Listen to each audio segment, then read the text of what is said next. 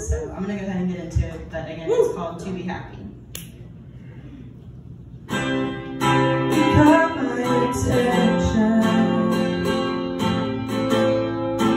That someday